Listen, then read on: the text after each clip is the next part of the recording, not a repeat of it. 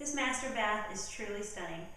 With a walk-in shower, corner jetted tub, granite countertops, and amazing details throughout, you will be so glad you bought this home.